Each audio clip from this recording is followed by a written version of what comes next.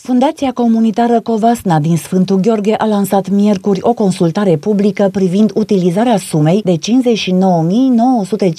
59.952 de lei, colectată prin intermediul programului Card Comunitar. Conducerea fundației a precizat că așteaptă propuneri din partea cetățenilor până pe data de 22 februarie, pe baza acestora urmând să fie stabilite nevoile comunității și proiecte ce vor fi finanțate din acești bani. Potrivit Agerpres, programul Card Comunitar, lansat în anul 2000, 2011 se bucură de succes la ora actuală în județul Covasna, existând peste 24.000 de utilizatori de carduri comunitare și aproape 30 de magazine partenere. Acestea din urmă au acceptat să doneze un anumit procent din vânzările pe carduri comunitare în contul fundației, iar astfel, în ultimii patru ani, s-au strâns mai mult de 500.000 de lei. Banii au fost folosiți pentru finanțarea a peste 140 de proiecte civice selectate pe baza sugestiilor venite din partea cetățenilor domeniilor, cum ar fi burse pentru elevi talentați, finanțarea de excursii școlare și amenajarea de terenuri de joacă, parcuri fitness și mese de ping-pong în spații publice.